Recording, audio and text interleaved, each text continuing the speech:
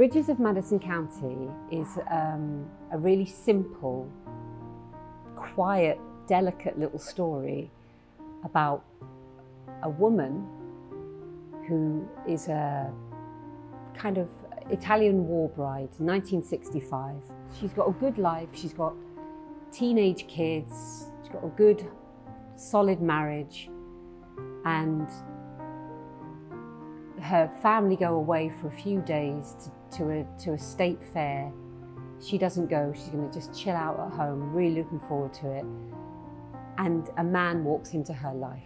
He just by chance drives up this, uh, this person's driveway looking for directions for these covered bridges of Madison County. He's photographed six of them, there's seven of them, he can't find the, the, the seventh one. Then the question is asked, do the great love stories come about because of fate, because of coincidence, because of the completely random universe that we occupy, where it's possible that, that because of one little random moment, um, something extraordinary can happen, but if the random moment went the other way, something extraordinary wouldn't happen. In rehearsals, everyone has been in floods of tears. Like literally, you're looking around the room, trying not to cry. Every, you cannot help it. I think audiences are going to be stunned by it. I am stunned by it. it it's a richly contrived score. Of course, um, you don't have to ask the question now, did the composer write the music and then the lyricist put the lyrics to it, or did the lyricist write the lyrics and the composer? Because it's music and lyrics by Jason Robert Brown. It is so detailed. It feels there's nothing left to chance. Uh, and that goes from melody and from lyric.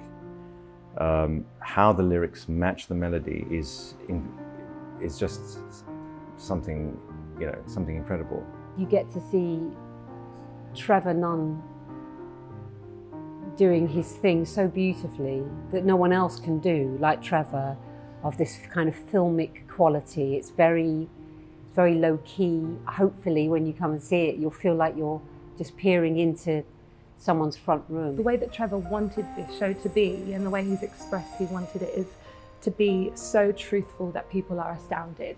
So it's not like a musical where it's going to be um, kind of all just hands in your face. This is not that at all. It's almost like I've described it as like an absolutely very truthful play uh, that happens to have some incredibly beautiful music. It's one of those roles. I'm, I've been around for a long time, right? And I've gone from being 14 and being a kid and gone through all the manifestations of being a woman in this industry. And I'm very happily kind of moving into character roles, which I've always felt was my thing. Never felt like romantic leads were my thing.